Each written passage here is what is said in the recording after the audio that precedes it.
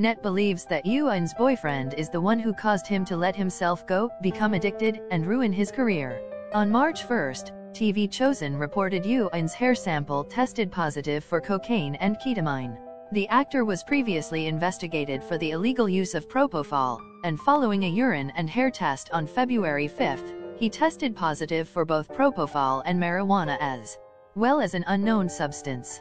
The National Forensics Service then sent Yuan's hair sample to the Seoul Metropolitan Police Agency's Drug Investigation Unit, where it reportedly tested positive for cocaine and ketamine.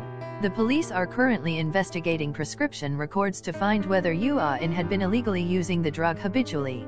He'll reportedly be called in for questioning. As early as next week. Here's one thing for sure, Yuan will find it very difficult to return to his acting career after this scandal. This scandal will sink his career. In the past few days, fans and viewers who are interested in him have been discussing the issue he's facing and questioning why a serious person like Yu Yu Ah In could live so recklessly, leading to the destruction of both his career and future. Many opinions on Naver suggest that this is related to Choi Jae-nul, who is rumored to be Yuan's boyfriend. Many viewers argue that Yuan has shown a clear negative change since getting involved with Choi Jae-nul. There are also many accusations that Choi Ha-nul has caused Yuan to use drugs such as marijuana, especially according to the archives of the Daegu Youth Agency. Yuan's rumored boyfriend had STDs before, was into doing a lot of drugs and kinda lived a reckless life. Earlier on December 23, 2022, netizens were thrilled by the dating rumors between Yuan and a male photographer. The two were spotted having multiple lovestagrams, but have yet to speak out about their relationship. Immediately, netizens rush to discover the profile of the man who is said to be Yuan's boyfriend. Accordingly, his name is Choi Ha-nul. Choi turns 30 years old this year.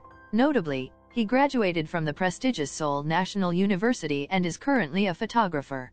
Choi Ha-nul is also known as Hanul Choi. On his SNS, this 30-year-old photographer posts many unique works of art and especially pictures of the two of them, even Yuan's own photos.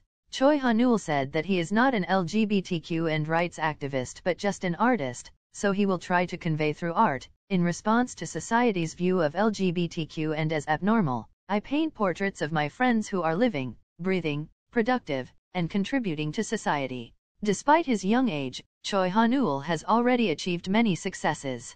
He has exhibited his work in Seoul, the US, and Hong Kong. A work by Choi Jae-nul was also sold at auction for up to $17,525. It can be seen that the comment Yuan's boyfriend is a capable man is completely satisfactory. Currently, in the light of the same-sex dating rumor, both Yuan and Choi Jae-nul have not yet spoken about this issue.